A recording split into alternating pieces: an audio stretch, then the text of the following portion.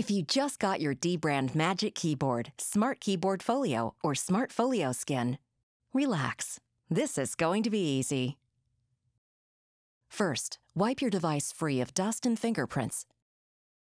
For optimal results, ensure you are under bright lighting. Note that your dbrand skin comes with two elements front and back. A microfiber cloth is also included to help smooth down the edges. You will require a hairdryer for this installation, so pause the video now and go grab one.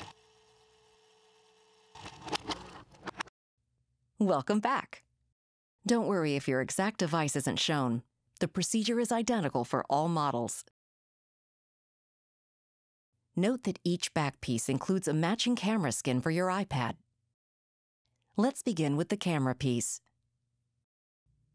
To apply the camera skin, just use a bottle opener.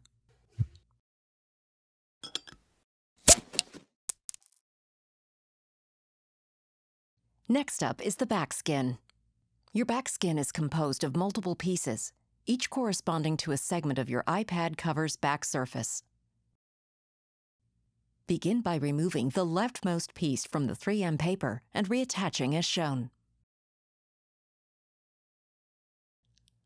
Align around the camera array, ensuring that there is equal spacing between the border of the skin and all edges of the iPad cover. Note that in order to ensure the skin doesn't peel up over time, it is designed to be slightly smaller than each segmented surface of your iPad cover. Once lined up flawlessly, apply pressure to the exposed portion.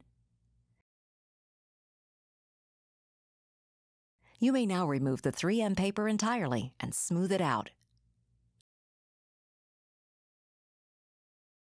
Repeat this process for any remaining back pieces.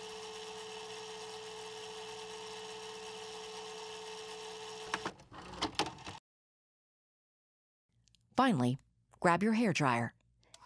Heat the logo area. Then apply firm pressure to get a clean Apple logo silhouette. Let's move on to the front skin.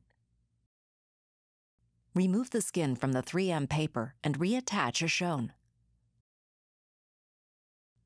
Align the skin along the top and right edge, ensuring that there is equal spacing on all sides. Once lined up flawlessly, apply pressure to secure the skin in place. Next, shift the 3M paper down diagonally by about 2 inches and apply pressure to the newly exposed portions. Repeat this process until the entire front surface has been applied.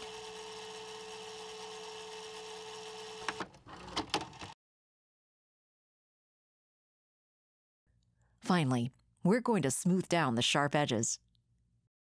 Grab your microfiber cloth and rub each border 10 to 15 times.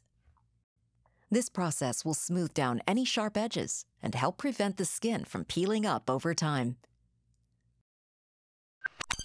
Done. If you have any questions, you know how to reach us.